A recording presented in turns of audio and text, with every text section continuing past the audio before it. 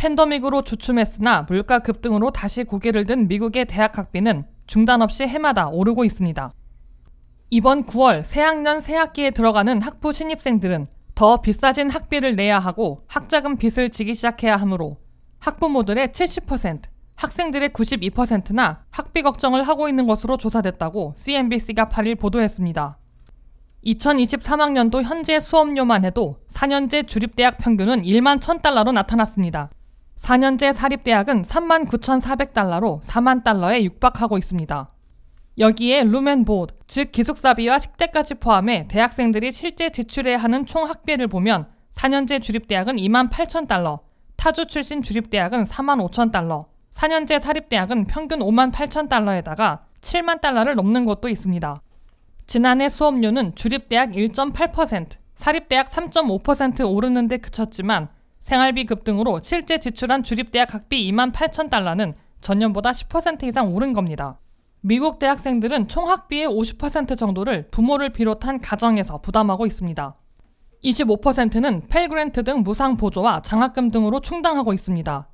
나머지 25%를 연방 학자 융자금으로 받고 있습니다. 올해 고등학교를 졸업한 학생과 학부모들의 71%가 연방 학자금을 지원받기 위해 작성해야 하는 펩사를 연방교육부에 제출했습니다.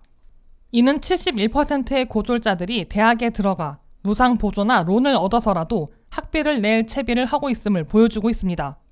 하지만 대표적인 연방 무상 보조인 펠 그란트 지원액이 1인당 평균으로는 해마다 줄고 있고 연방 론도 여의치 않아져 학부모나 학생들의 직접 부담이 가중되고 있는 것으로 칼리지 보드는 지적했습니다.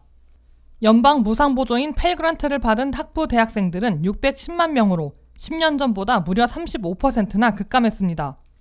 펠 그란트의 맥시멈은 6,895달러나 되지만 1인당 평균은 4,250달러에 그친 것으로 나타났습니다.